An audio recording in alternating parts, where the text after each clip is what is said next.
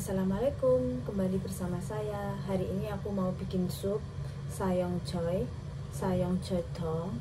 Ini bahan-bahannya yang aku mau lihatkan. Udah aku siapkan semua bahan-bahannya. Yang pertama, sayong choy seperti ini yang udah aku cuci, wortel atau honglopa dan tulang babi yang udah aku rebus sebentar. Ada kulit jeruk yang kering yang aku rendam nanti aku mau bersihkan ini.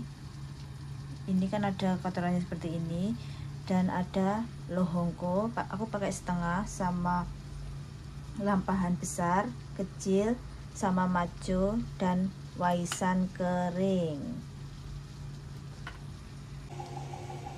Udah aku siapkan air mendidih. Masukkan semua bahan wortel. Dan iga babi yang udah aku cucoy atau aku rebus sebentar.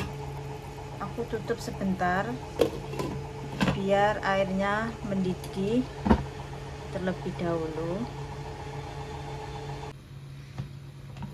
Setelah seperti ini airnya udah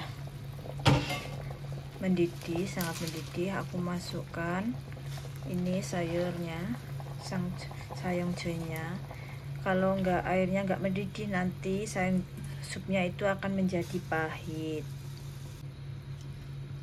Kita bantu untuk merendam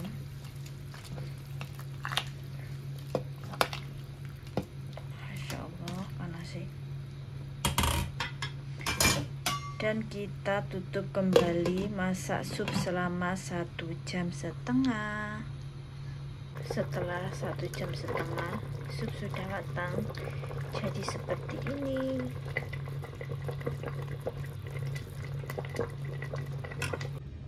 Sayang jodong sudah matang. Selamat mencoba. Jangan lupa like comment and subscribe